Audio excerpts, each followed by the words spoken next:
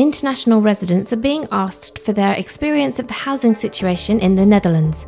ICAP, the International Community Advisory Panel, have put out a new housing survey with the intention of shaping government policy.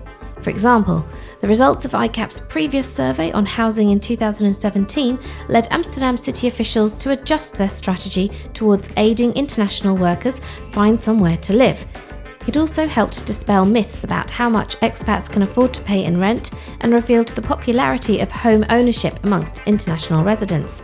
A lot has changed since then, says ICAP, which is why they're asking internationals further questions on housing. You can contribute to the survey at icapnl.com until the 12th of June at least. Broadcast Amsterdam, your local radio station, 24 7 and on demand. Or on broadcastamsterdam.nl.